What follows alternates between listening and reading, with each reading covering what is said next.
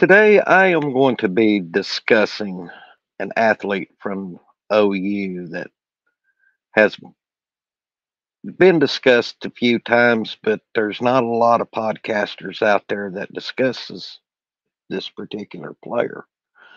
So today I'm going to give him his flowers. And that person I'm talking about is the legendary Dr. Prentice Gautt. Prentice broke the color barrier for Oklahoma football as he was the first black player to play for OU. But before I do that, I am going to bring in Coach Switzer to give us a pep talk. Take it away, Coach. Big Eight Conference. For the last 14 years, we win today. We'll have won 11 Big Eight Conference championships. Everybody reading Southwest Conference, they talk about Texas in the last 10, 12 years has won two Southwest Conference. Houston three. A&M finally won them one in 18 years. People don't know what it is to be champions. Oklahoma invented it.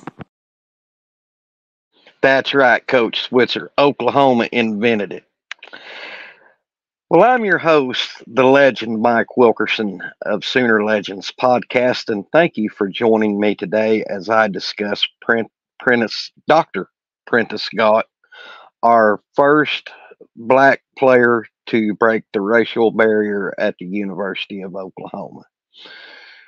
But first, you all know the drill. Can I get you to hop down in the comments and tell me why for yes or in for no? Was Prentice uh, was he a valuable player to Oklahoma?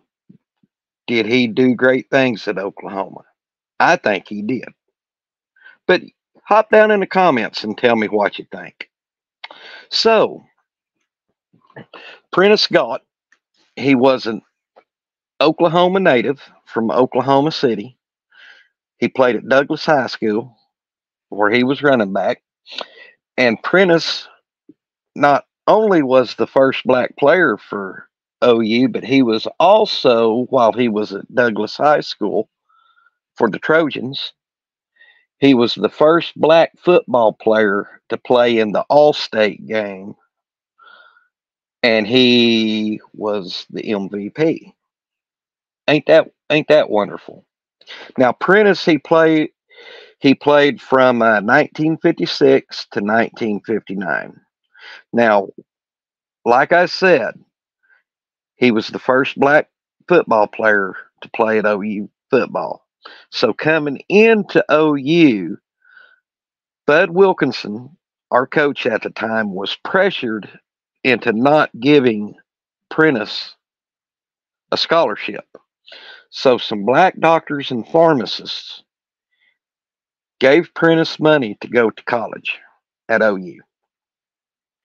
So with after his first year as a freshman, Prentice finally earned a scholarship to play for OU, and the money that was donated to Prentice from said doctors and pharmacists was then redonated to another black student going to the University of Oklahoma. And Prentice, he was our running back. He wore number 38. And let's see, I got through all that. During Prentice's time at OU. Now we gotta we gotta remember what time era this is. This is the mid to late 50s. And from an interview I watched about Prentice, Dr. Gautt, I, I'm just going to, from here on out, I'm going to call him Dr. Gautt because he earned that PhD. But uh, up until that point, OU was a a white football team.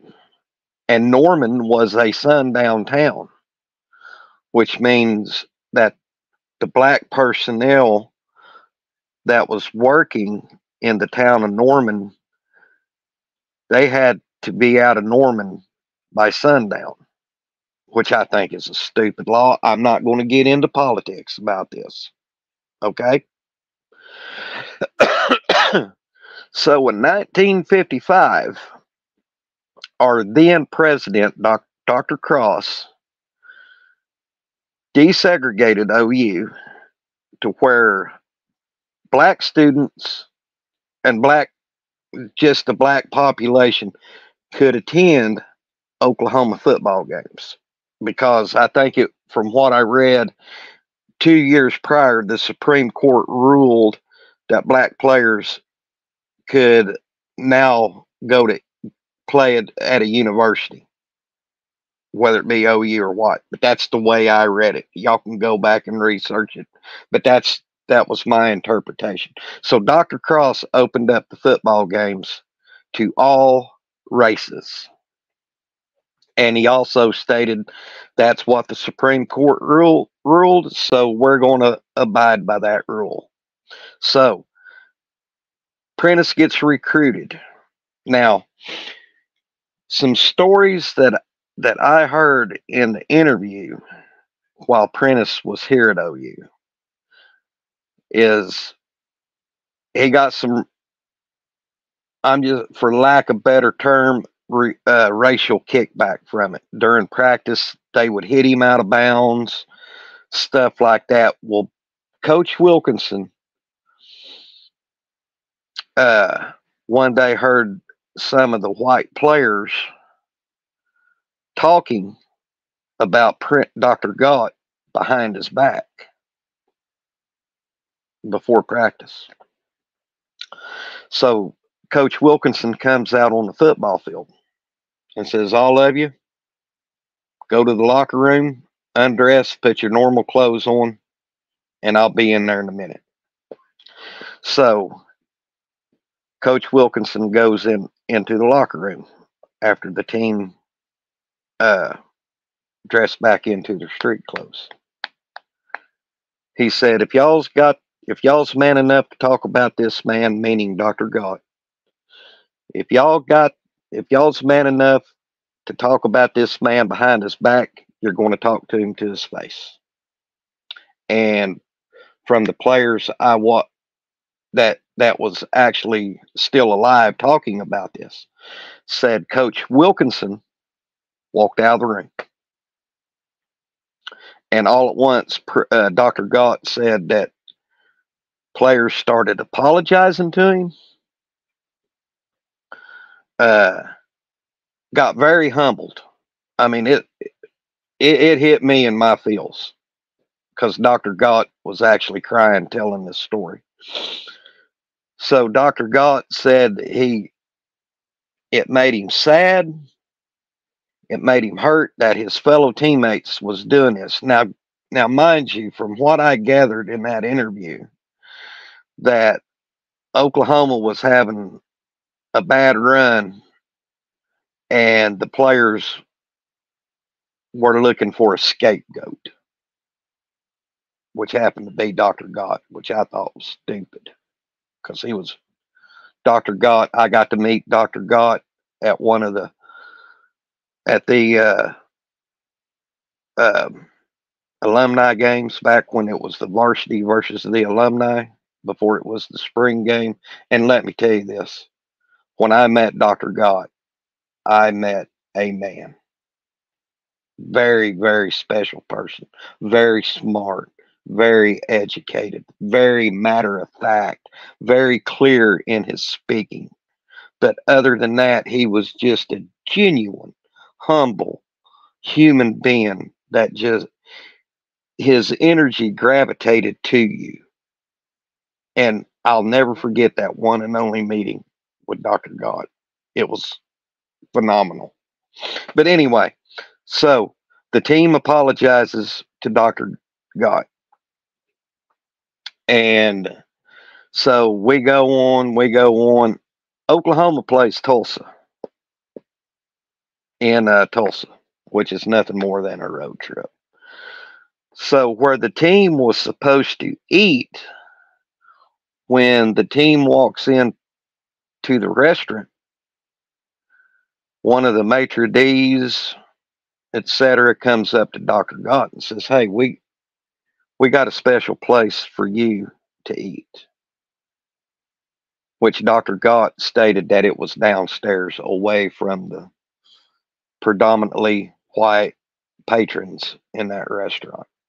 And Dr. Gautt says, No, I want to eat with my team. I've earned my spot on this team. And this is where I I want they said, Well, they can join you downstairs if they like. Dr. Gautt said, No, I ain't gonna do it. So Dr. Gautt walks out. Unbeknownst to everybody else, the whole team said, if y'all's going to treat a member of our team like that, we don't want to eat here either.